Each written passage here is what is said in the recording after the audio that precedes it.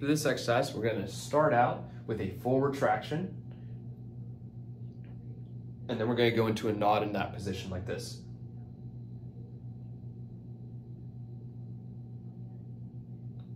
Now, as you do this, you may wanna just relax your jaw, gap between your teeth, tongue of the roof of the mouth, or else you might find that your jaw hits your trachea here and it's hard to breathe, hard to swallow.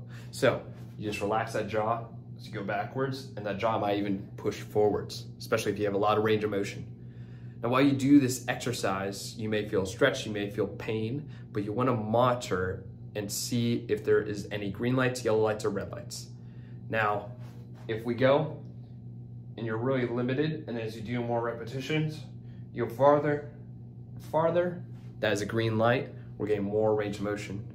If you have symptoms during it and the symptoms get worse, is a red light. If they get better, that's a green light. Um, if you have symptoms before and you're just resting and then they get worse afterwards, or if you have a certain motion or something that triggers the symptoms and you retry it afterwards and it's worse, that is a red light. Um, and then again, if it gets better, green light. Um, you may even have shoulder or something in the arm and you can trigger it with a certain motion. You can retest that, look for any green lights or red lights. Um, and green light, keep going, red light, stop. Red lights are not bad. You just wanna keep an eye out for them because if you push into them, they will most likely make things worse. If uh, you hit them, many times it's actually a sign that we're moving towards a new phase. You just need a new stretch or a new direction or maybe a different force.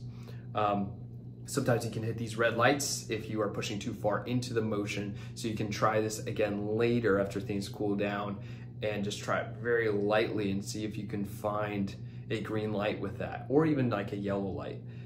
Now, if you hit a yellow light, just keep going, but monitor that you're not hitting, you don't move into a red light because yellow lights can turn into red lights pretty quick. So keep an eye on it, but you can keep going if it's a yellow light.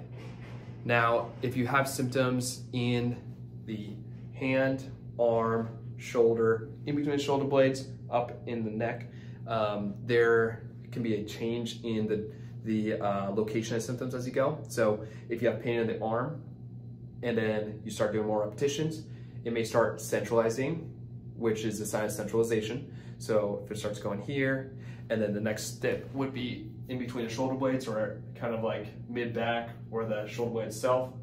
And then the next step will be upper trap, then side of the neck, and then finally center of the neck. That is centralization. That is the number one thing that they found in the evidence that you're moving the right direction and it's a green light, so keep going. Um, it's also a sign that, that uh, is showing in the research that things will get better really quickly if you keep going with the stretch you're doing. Now, if you get the opposite, maybe you have pain in the neck and you keep going, the side of the neck, upper trap, and then you feel it, start feeling it here, like in the shoulder blade, and then you start feeling shoulder, and maybe, or it may start moving down into the fingertips. That's peripheralization, that's a sign to stop, red light.